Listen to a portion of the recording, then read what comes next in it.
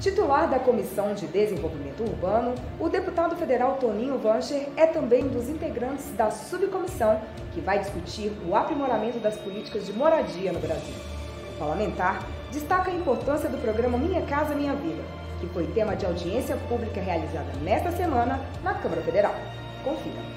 Eu faço parte da, da CDU porque nós entendemos que a construção civil no Brasil é uma, uma das formas do Brasil voltar a gerar emprego e renda.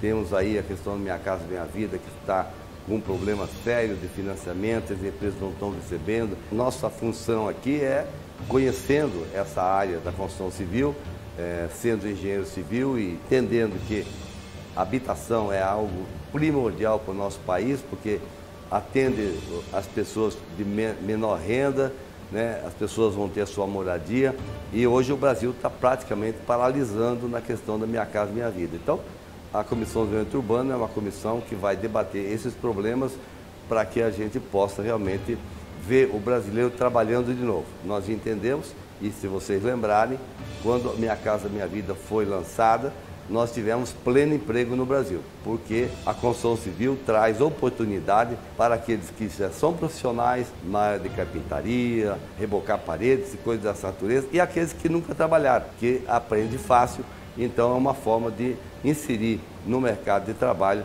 as pessoas que estão desempregadas.